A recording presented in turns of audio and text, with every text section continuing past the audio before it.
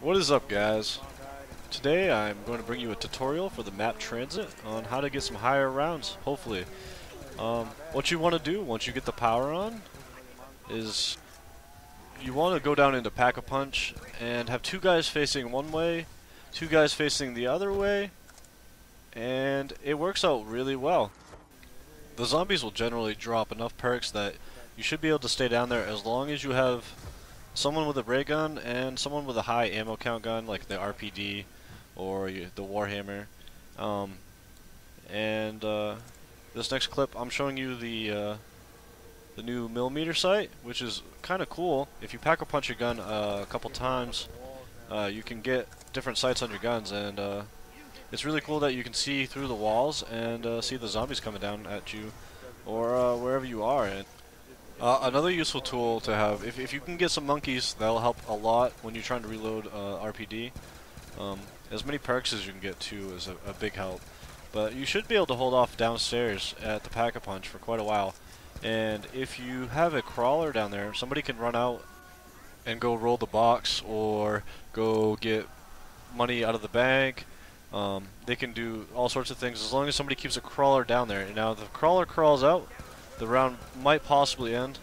Um, I haven't played enough yet to figure out if that's the reason why they keep dying.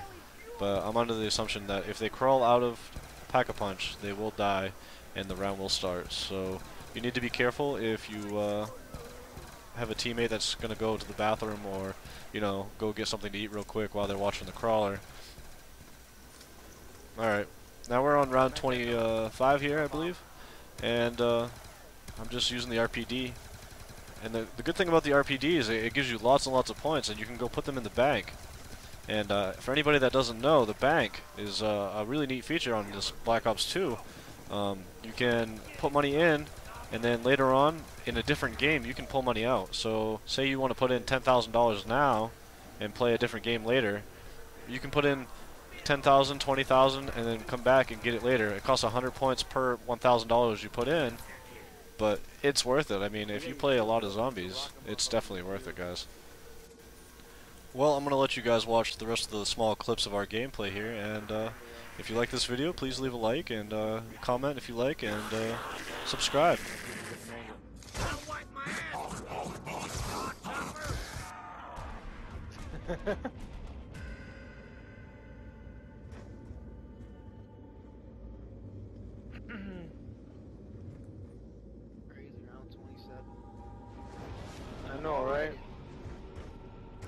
The barn. Like, like run behind the barn. Like, like wait, away from the barn or something, you know?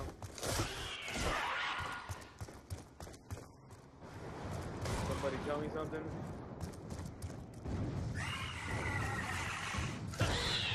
Oh, I'm down here.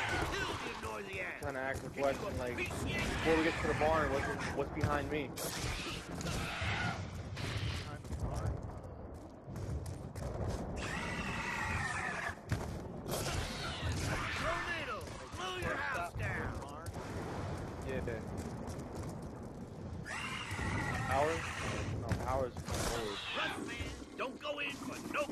Try to damn fucking fucking whatever. Hey, you think so? You think I'll be able to hold that down by myself? All damn zombies are, are, are gonna break the machine.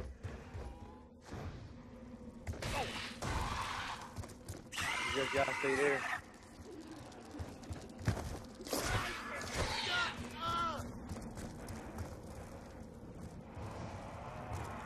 Nature's